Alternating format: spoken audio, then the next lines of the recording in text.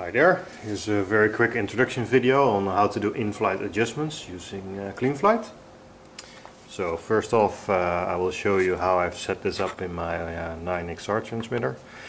So for in-flight adjustments you need to have two things. First you need to select what you want to tune and then you need to, or adjust, and then you need to select uh, and then you have to have the switches for doing so. So I have a uh, pot meter here selected uh, for configuration. So this has five settings. So first of all there is a zero setting.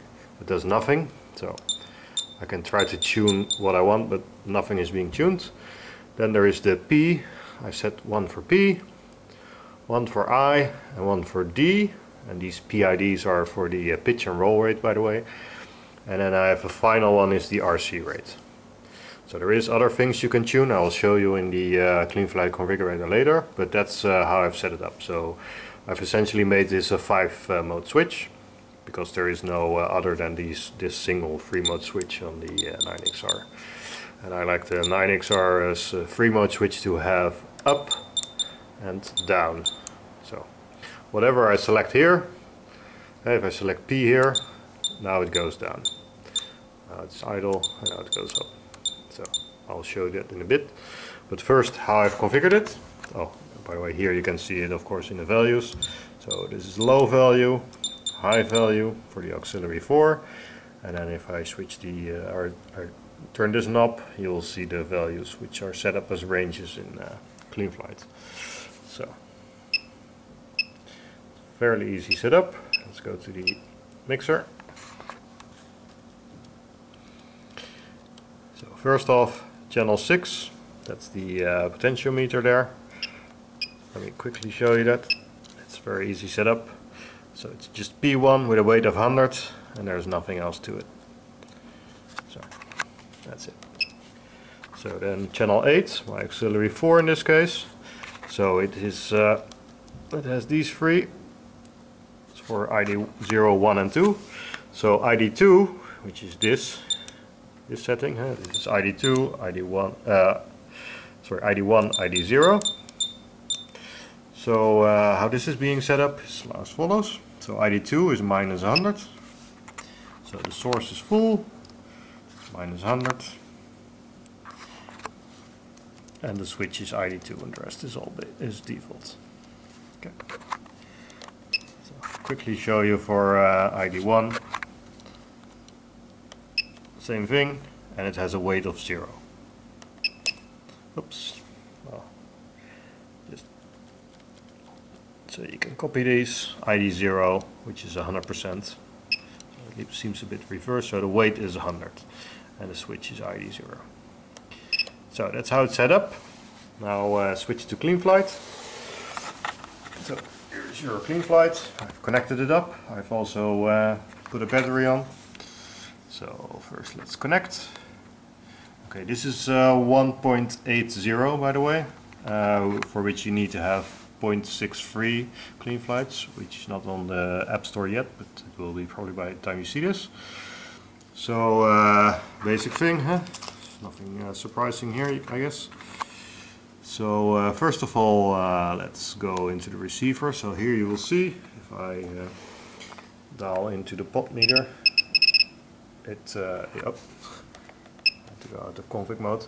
If you dial the potentiometer here, you will see it go up and down so that's my PI and D and RC rate selector. And then the other switch is uh, there so see it mid stick it does nothing. Lower it's, it's down and up. Okay.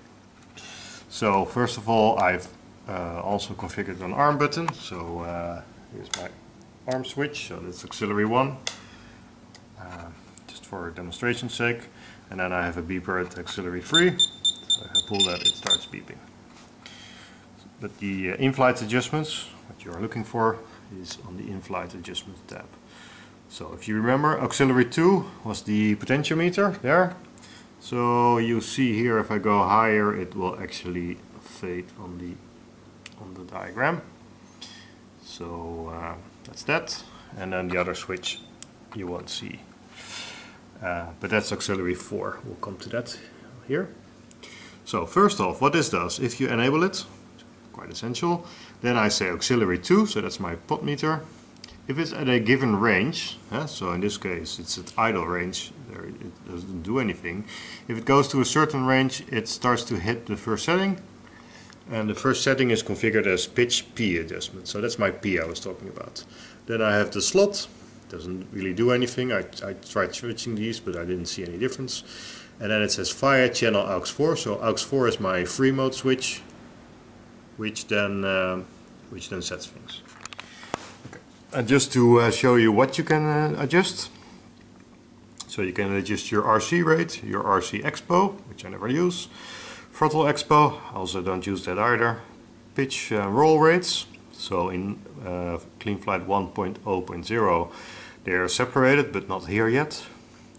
Uh, your yaw rate adjustment, uh, pitch P, pitch I, pitch D, and then there's your yaw P, I and D values. And then you can also select a rate profile. I uh, tend to use that only when I'm unarmed and the craft is on the ground, but it can be useful I guess. So in this case my top one is pitch P, so again that's this particular range. So I've selected another part of the, the range of this potentiometer, so that's here. So that's my pitch I. It's, again, it's, it tunes via, via AUX4. And then uh, the third part of the range I've selected. That's my pitch and roll D and AUX4, as you could have guessed. So since I had some range left here, I can go completely to uh, above 2000. I thought why not change the uh, RC rates. So same thing here, also configured by AUX4. So of course you want to see this uh, in working. So uh, how this works is uh, if you actually look here, uh, you see that I have on profile 1, I have a roll and pitch, PI and D value. So my P here is a little bit low, so let's use that. So let's first select the P. So that's over here.